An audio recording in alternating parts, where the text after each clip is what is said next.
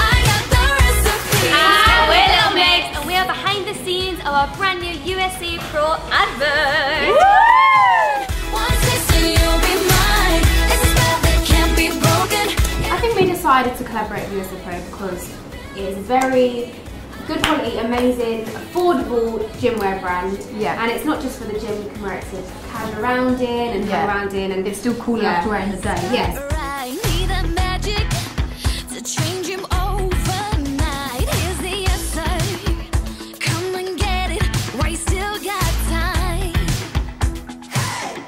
We're all very individual with what we wear when we're at dance rehearsals and when we're working out. And I think it all depends on your body shape and everything like that and what you're comfortable with and whether you want your waist out, whether you want a long t-shirt, whether you want this. So I think that's why we're quite excited to be involved in it because we want, you know, people to feel incredible and lovely when they go yeah. to work out. Yeah.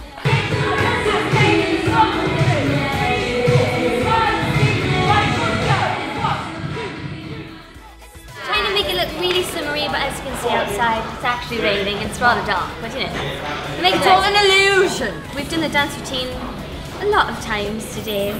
You know, with good job with Fit Girls, aren't we?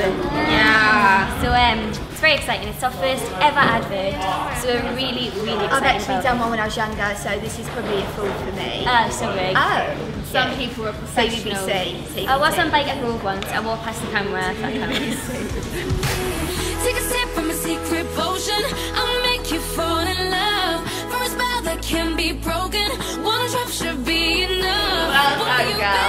up Thank you, ladies. So it's day two of our USA Pro shoot. Yesterday was the advert and today is the photo shoot. We've got a few different outfits to try on today, so it's very exciting. One, two, three, go. yeah, that's really good. It's called black magic. So you are natural, so how about that? Yeah.